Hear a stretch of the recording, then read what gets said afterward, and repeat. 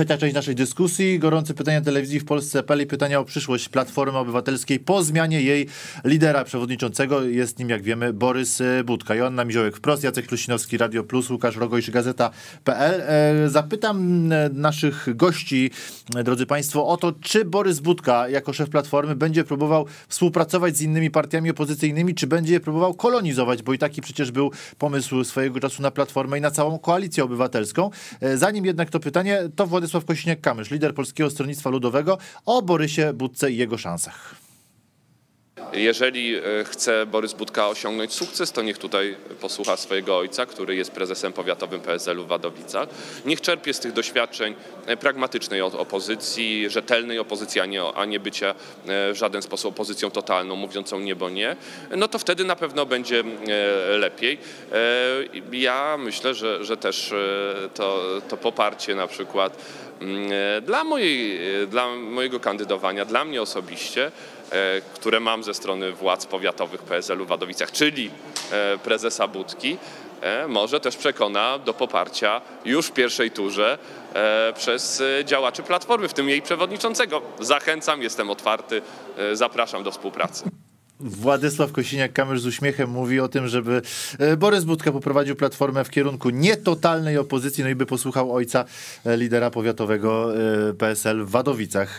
Czy taka współpraca między PO a PSL-em jest możliwa? Bo był taki pomysł po kampanii europejskiej, by Platforma poszła z PSL-em do wyborów w jednym bloku jako IPP, jako Europejska Partia Ludowa.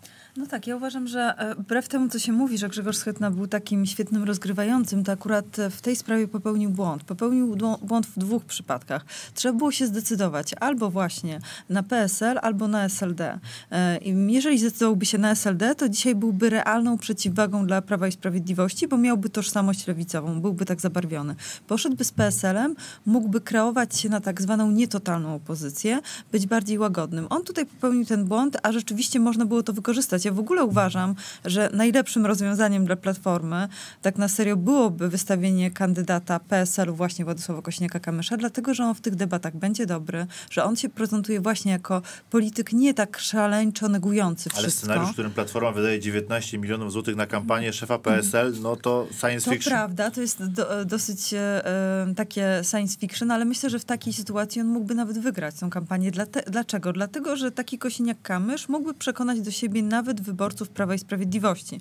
To jest to, o czym rozmawiał z nim Donald Tusk, kiedy e, Władysław Kosiniak-Kamysz rozmawiał też o kandydowaniu, to podobno Donald Tusk powiedział mu na spotkaniu w Brukseli o tym, e, że uważa, że jest jednym z najpoważniejszych kandydatów, dlatego, że dzisiaj trzeba poszukiwać kandydata, zresztą o czym też mówił publicznie Donald Tusk, który przekona wyborców Prawa i Sprawiedliwości. Czy takim kandydatem jest Małgorzata Kidawa-Błońska? Nie.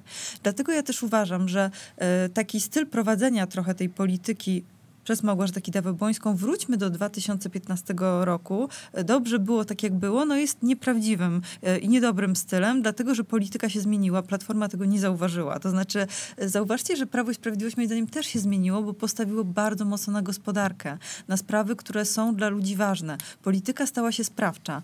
E, ja o czym, ludzie o czymś mówią, czegoś im potrzeba, nagle się powiedzmy to dzieje, tak? Nie wiem, połączenia lokalne, które się znajdują gdzieś w mniejszych miejscowościach, w tej zapóźnionej Polsce. Mają 500, plus, mają e, dużo rzeczy, które myślą sobie, dobrze, to dali mi politycy. Co mi przez lata dali politycy? Obliczają sobie, że nic. Ja tylko jeszcze chciałam na chwilę wrócić do tego, e, o czym mówił Tomasz Siemoniak, że trzeba tam gdzieś do tych powiatów rozmawiać z ludźmi, a polityka nie rozgrywa się w studiach telewizyjnych. Moim zdaniem to jest mit.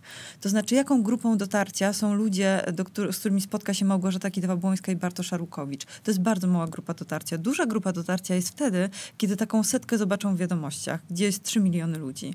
E, I oni muszą mieć własny przekaz, żeby wygrać w tej kampanii. To znaczy muszą narzucić coś, o czym będą mówiły media. Dzisiaj nie potrafią tego narzucić, bo dzisiaj mówimy o praworządności, a to jest temat, który narzuciło Prawo i Sprawiedliwość. Więc e, chyba najlepszym sposobem niestety dla Platformy byłoby się cofnięcie w czasie i umawianie z koalicjantami, bo dzisiaj no nie ma na to szansy, tak? Dzisiaj no nie poprą kandydata PSL-u i bardzo trudno będzie im rozmawiać z koalicjantami, a muszą się od nich też odróżniać. Z drugiej strony ich nie obrażając, tak jak zrobiła to Małgorzata Kidawa-Błońska, mówiąc o lewicy, że są nic nie warci po jednym z głosowań. Znaczy mi będzie bardzo trudno właśnie z nimi rozmawiać. Platforma jako partia nietotalna z liderem Borysem Budką, który no, w ciągu tych czterech lat był twarzą bardzo ostrej krytyki Prawa i Sprawiedliwości. Nie wiem, czy totalnej krytyki, ale jednak no, tej merytoryki, o której w stylu Władysława Kośniaka-Kamysza i PSL było niewiele. Mm, krytykował, owszem ale na pewno nie była to taka krytyka mm, i styl krytyki, który e, moglibyśmy podpiąć pod właśnie e, hasło totalna opozycja, e, dlatego że mm, też jakby styl sprawowania przywództwa, to o czym mówi Borys Budka, jego w ogóle styl bycia w polityce znacząco różni się, też opinia o nim znacząco różni się od opinii o mm, Grzegorzu Schetynie. On jest właśnie uważany za takiego polityka, który potrafi rozmawiać, potrafi, potrafi dogadywać się z ludźmi, który jest po prostu miły wobec byciu e, bezpośrednim, e, a mm, Grzegorz Schetyna miał jednak opinię tego rekina, który e, krąży gdzieś wokół ciebie, krąży i w pewnym momencie po prostu cię połknie. Dlatego też politycy innych partii opozycyjnych bali się Grzegorza Schetyny. Pamiętam jeden z polityków PSL-u powiedział mi kiedyś, że pytany właśnie o to, no dlaczego nie z Platformą, a on odpowiedział na to, że no fajnie byłoby z Platformą, tak jest nam do niej najbliżej, IPP, jedna rodzina w Parlamencie Europejskim, no ale no Grzegorz, no Grzegorz, bo po co nam to, że nas tak przytulił, żeby w końcu udusił? I to chyba jest najbardziej obrazowa różnica właśnie między Grzegorzem Schetyną i Borysem Budką, jeżeli chodzi o podejście do e, potencjalnych partnerów. Jacek Prusinowski. Jacku, jak, ta platforma, jak Platforma Obywatelska, jej zasoby finansowe, personalne, techniczne, administracyjne, e, także jeśli chodzi o sprawowaną władzę w wielu miejscach, zwłaszcza w samorządach, zwłaszcza gdzieś w sejmikach wojewódzkich, mogą się przydać, bo bez tych zasobów, mam wrażenie, no, nie da się odebrać e, Prawo i Sprawiedliwości władzy, no, ale z drugiej strony te zasoby są i błogosławieństwem, i przekleństwem opozycji. No myślę, że jeżeli chodzi o potencjalne koalicje i współpracę e, z innymi opozycyjnymi formacjami, to, to, to na to przyjdzie czas jeszcze, że no, póki co Platforma w drugiej turze wyborów prezydenckich pewnie będzie e, potrzebowała e, wsparcia opozycji no, mniejsze czy większe zostanie jednak udzielone, ale tak najbliższe dwa lata i ten dystans duży do, do kolejnych wyborów, to, to, to myślę, że nie jest moment y, na jakieś szczególne układanie się no, w niczyim interesie. Y, nie jest takie blatowanie się właśnie na, na takim etapie, na rok przed wyborami, na miesiące przed wyborami. Y, Mało tego, dzisiaj w interesie policzą Roberta się i wtedy zobaczą, jest uderzenie w Platformę, pokazywanie się jako alternatywa do bezideowej Małgorzaty no, no, Kidawy-Błońskiej. Jasne, no, w pierwszej turze tak, muszą kandydaci opozycyjni pokazać, e, czym się różnią i, i e, mocno pokazać, że mają szansę w ogóle w tym wyścigu, żeby od razu już nie była właśnie kandydatka Platformy e, tą jedyną nadzieją opozycji na pokonanie prezydenta Andrzeja Dudy. No, no więc na pewno to, to ona będzie bardziej atakowana przez Roberta Biedronia czy Władysława Kośniaka-Kamysza pewnie no, w subtelny sposób, jak to Władysław Kośniak-Kamysz robi, ale jednak oni głosów Małgorzaty Kitawy, wyborców Małgorzaty Kidawy-Błońskiej raczej nie będą potrzebować potrzebować w drugiej turze. No to się oczywiście może zdarzyć, ale jest dużo mniej prawdopodobne. No Ona ich wyborców jak, potrzebowała jak, będzie. Kiedy wyborca Lewicy, kiedy wyborca e, PSL, kiedy wyborca Szymona Hołowni usłyszy w tej kampanii, że Platforma jest zbyt słaba, by Prawo i Sprawiedliwość obalić, a Małgorzata Kidawa-Błońska zbyt miałka, by dać radę Andrzejowi Dudzie, jak mogą w drugiej turze bez mrugnięcia okiem poprzeć e, kandydaturę e, pani marszałek? No, myślę, że dla wyborców e, lewicy, nie wiem jak, jak to będzie, jaki będzie profil wyborcy Szymona Hołowni, ale wyborca e, lewicy i pewnie wyborca Szymona Hołowni, e, to jednak dla niego większą wartością będzie zagłosowanie na kogoś, kto nie jest z Prawa i Sprawiedliwości. Będzie tą kluczową właśnie no, przesłanką, przesłanką mhm. tak, do, do takiego nie innego wyboru. No, w przypadku PSL-u już to może mniej trochę działać, bo, bo pewnie dla wielu wyborców PSL-u Prawo i Sprawiedliwość Sprawiedliwość e, to nie jest jakimś największym złem. Pewnie e, blisko są te elektoraty e, całkiem siebie, chociaż tak na najwyższym poziomie politycznym niekoniecznie to widać.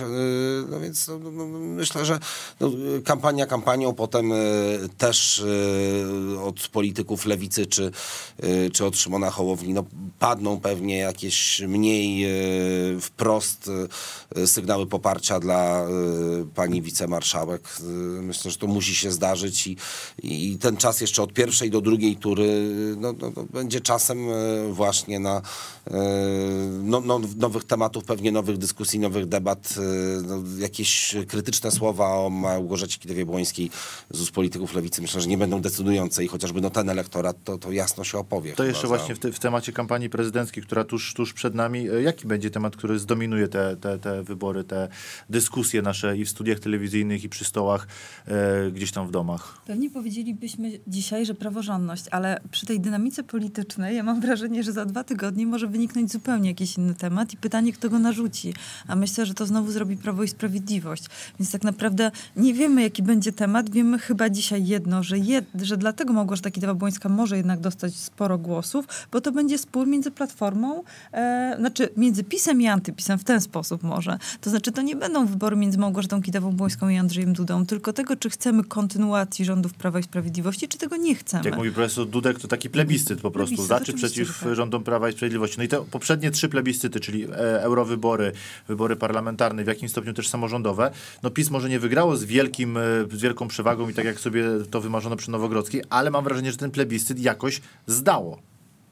Tak, e, i, pra, tak, e, i Prawo i Sprawiedliwość przecież w końcówce kampanii starało się zrobić wszystko, żeby jeszcze bardziej zaostrzyć tą polaryzację. Znaczy oni to pokazywało, że tylko wtedy możemy zyskać, bo mobilizujemy swoich wyborców. I teraz będzie dokładnie na tym samym zależało Prawo i Sprawiedliwości. Dlatego mamy dosyć taki ostry temat w postaci sporu o wymiar sprawiedliwości. Ale ja myślę, że właśnie o tyle kampania, no ma jeszcze, mamy jeszcze e, tak naprawdę luty, marzec, kwiecień, to są trzy miesiące i trochę ludziom się chyba ten temat praworządności znudzi. Będzie trzeba dać jakąś jakąś nową dynamikę. Przecież to jest w ogóle taki kibiców politycznych e, temat, że to naprawdę e, żeby wątpię, żeby szczególnie jakoś zmieniali zdanie ci, którzy się żywo interesują e, tym sporem. Jedni i drudzy utwierdzają się raczej w, w swoich okopach. Czyli kwestia praworządności może tylko zmobilizować przekonanych, miejscach. ale nie przeciągnąć na drugą tak stronę mi się wydaje, tych, że którzy... ja nie widzę tutaj potencjału, bo, bo wejście w ogóle w ten temat, wczytanie się w to wszystko i nadgonienie, jeżeli ktoś się tym szczególnie nie interesował, to nadgonienie tego serialu, co się wydarzyło w odcinku 275, a co w 376. kto ma rację, no trudno to, to dzisiaj tak naprawdę y, myślę, że tak ogarnąć, y, jeżeli ktoś y, myśli, no kto tutaj ma rację, no to Łukaszu, jeśli nie praworządność, to co? Moim zdaniem opozycja, nie tylko sama e, Platforma, powinna e, szukać tematów e, bliskich ludziom. A jak wiemy o głosach wyborców najczęściej decydują kwestie ekonomiczne. Dzisiaj politycy opozycji sami przyznają, że powinni postawić na drożyznę, na to, że po prostu tych pieniędzy w portfelach jest mniej, łatwiej, łatwiej z tego portfela uciekają. O tym się nie mówi, bo właśnie w takie tematy jak sądownictwo, jak spórosądy opozycja wpada, bo też nie może w nie nie wejść, patrząc na jej historię z ostatnich kilku lat. Ale jednak to nie są tematy, które dadzą jej wiele punktów dodatkowych w nadchodzących wyborach opozycja musi się postarać, żeby po prostu mówić o tym, co było niewygodne dla PiSu, tak jak Platforma zrobiła to w lipcu, kiedy na forum programowym odpakowała tę szóstkę schetyny. To, tam było dużo właśnie e, takich zarzutów do mm, polityki PiSu e, w miejscach, w których ta polityka szwankowała, czyli tych zmian strukturalnych, systemowych, e, wielkich przedsięwzięć, z którymi PiS sobie nie radził. I do tego Platforma za Borysa Budki powinna wrócić, a razem z Platformą i reszta opozycji. Znaczy ja nie wiem, czy akurat drożyzna będzie takim tematem przewodnim, dlatego że tutaj Jednym też, z... że, że może być, dlatego że tutaj też opozycja będzie miała problem. Od 2016 roku było ostatnio mm, pokazane badanie, zdaje się, GUS-u, wzrosła pensja o 20%, przy czym inflacja na poziomie 4% jest powiedzmy o 16%. Skoro pensje ludzi rosną, to oni tego tak bardzo w portfelach nie odczuwają. Trochę, naśmiewa... się rozmawia. Trochę naśmiewając się z tego paska, który się pojawił w jednej z telewizji, że portfele Polaków pękają w szwak. No nie pękają w szwak, to prawda. O tym się może rozmawiać, ale ja mam trochę takie poczucie, że jednak ludzie będą myśleli sobie, czy żyje im się lepiej, czy gorzej i jeżeli dostaną jakąś realną propozycję ze strony Platformy, to mogą to zagłosować, tylko że oni na razie dostają propozycję... Jaką propozycję? Przelicytowanie 500+, plus, jeszcze jeszcze większy socjal, czy... Znaczy oni na razie dostają propozycję, wróćmy do 2015 roku, bo wtedy było dobrze, tylko pytanie komu? I ludzie tego nie odczuwają. E, zobaczcie, co się dzieje na przykład w studiach telewizyjnych. Jeżeli my mamy od rana, kamera TVN24 biega za sędzią Juszczyszynem, to kto narzuca temat dzisiejszej kampanii? Nawet nie wiadomości, nawet fakty pokazują to, co co chce, żeby pokazywało Prawo i Sprawiedliwość. Więc to jest moim zdaniem śmieszne. E, Platforma Obywatelska powinna chociażby odgrzewać stare afery, odgrzewać to, że szefem Niku nadal jest Marian Banaś. Czemu oni tego nie robią? Oni idą po prostu drogą Prawa i Sprawiedliwości i reagują, tak jak reagowali w czasie innych kampanii. A to jest słabe. Kwartał został nam e, z niewielkim hakiem do wyborów prezydenckich. Na pewno jeszcze nie raz nie dwa zdążymy się przyjrzeć i kampanii Platformy Obywatelskiej i innych kandydatów e, w tych wyborach. Za dziś dziękuję uprzejmie. Joanna Miziołek, Tygodnik Wprost, Jacek Prusinowski, Radio Plus, bardzo. Łukasz Rogojsz, portal Gazeta.pl. Dziękuję, Dziękuję. pięknie, Marcin Fiołek, Telewizja w Polsce.pl. Za moment kolejne, nie mniej ciekawe pytania naszej stacji. Zostańcie Państwo. Do zobaczenia.